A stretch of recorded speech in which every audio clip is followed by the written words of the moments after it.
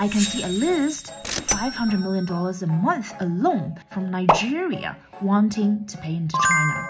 And the crazy part is, most bank and payment companies trying to facilitate that have a success rate less than 30%. But on the other side, Alipay says their payment success rate is over 97%. Why is the massive cash? Let me give you a real example from last week. So we had a Nigerian merchant wanted to pay a Chinese supplier, and the supplier sent an Alipay QR code. It sounds standard, right?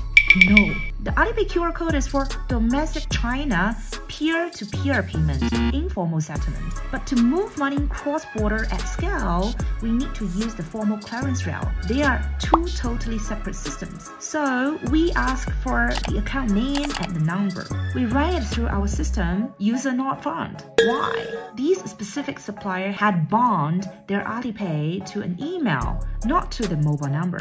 So we had to manually call, and fix it. We got the money through at the end of the day, but it took three steps of human intervention. This is not really a tech problem, it's more of a behavioral management.